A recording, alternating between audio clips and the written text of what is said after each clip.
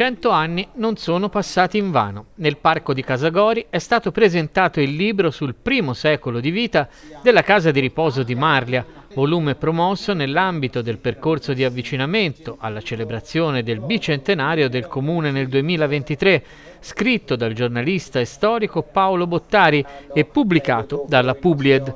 Cento anni di Casagori racconta la storia di una struttura che è sempre stata un modello di riferimento del territorio ed un laboratorio di nuove esperienze in campo socioassistenziale, fin dalla sua apertura come ospedale di guerra nel 1915.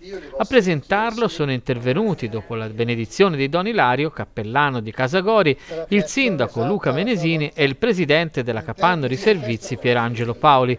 L'incontro, diretto dallo stesso autore, ha ripercorso le tappe fondamentali della vita della casa, nata nel 1920 come ricovero per cronici e invalidi aiutato dalle testimonianze di chi ha vissuto a lungo al suo interno. L'occasione della presentazione del libro di Bottari si è rivelata un momento utile non solo a ripercorrere la storia, ma anche per parlare di problemi e di prospettive future di quella che ancora oggi viene chiamata Casa di riposo di Marlia.